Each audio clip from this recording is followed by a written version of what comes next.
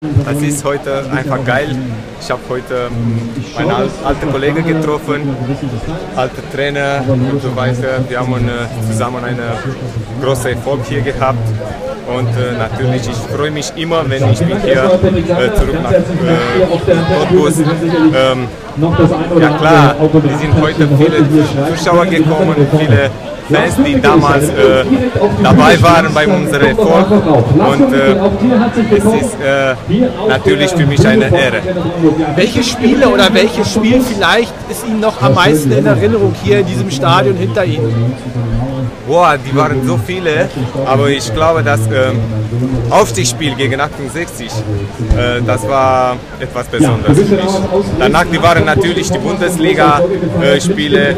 Wir haben gegen die ja, große Namen hier gewonnen. Äh, Leverkusen gegen Leverkusen, gegen äh, VfL Wolfsburg. Äh, ich kann mich erinnern, dass wir haben auch so viele Spiele auswärts gewonnen. Ähm, in Berlin, in Frankfurt, in Dortmund.